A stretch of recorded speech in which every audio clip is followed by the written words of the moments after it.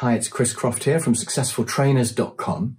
Now, when I'm helping people to get started out in training, one of the things they want to know is how many days a week do I have to work? And by work, they mean deliver training. Of course, there's other work as well, but delivering of training. And I would say there are four factors to bear in mind when you're thinking about how many days a week you want to work. And the first one is how much income you want to make because you've got the choice. And that's the great thing about being self-employed. So a rough guide is a thousand pounds a day. You should really be charging more than that actually. But if you work for say one day a week, that will bring in 50 grand a year. And you could do that and you could have a pretty good quality of life. Or you could work two days a week and do 100 days. That's what most trainers do, by the way, about 100 days a year. And that's limited perhaps by their stamina, but also by how much they can sell. So 100 days, that's 100 grand. But you could go really crazy and do three days a week and earn 150 grand. That's what I did last year. I worked three days a week on average. I took Mondays and Fridays off because I quite fancied a four day weekend and I worked three days a week. I charged a bit more than a thousand a day as well, actually. So I wouldn't recommend doing more than three days a week on average because it will wear you out. Now, of course, I didn't do exactly three days every week. So some weeks I only did one or two days. Some weeks I didn't do any because I was on holiday.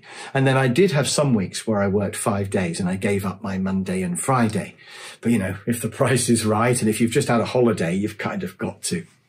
So sometimes I've done five days in a week, but most trainers would say they don't want to do more than four days a week because it wears them out. So stamina is another option. I actually don't find training very tiring. I love it. I get energized by the group. So I would happily do it for five days a week every week. But most trainers would say that that's excessive and that I'm a bit mad and perhaps I am.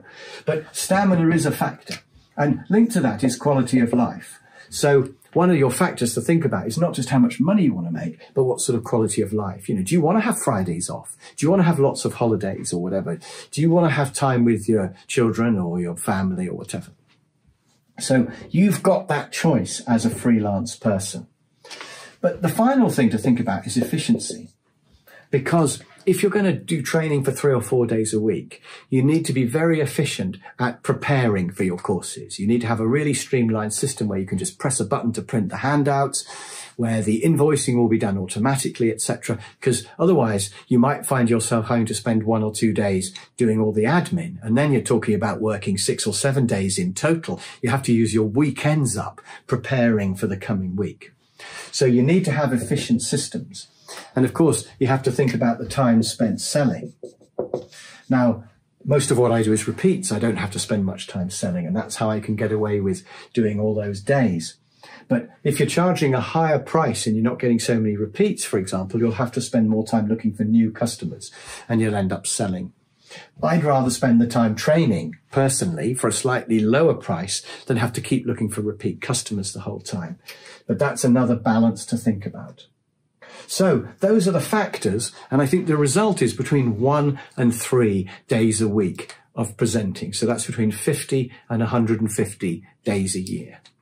So if you want to know more about this, contact me on successfultrainers.com and I can help you work out your strategy of how you can live your ideal life, earn a good living, but still have a quality of life. Successfultrainers.com, book into my diary and we can have a call. We'll chat over Zoom. Could be fun. Maybe I can help you to get into the best job in the world.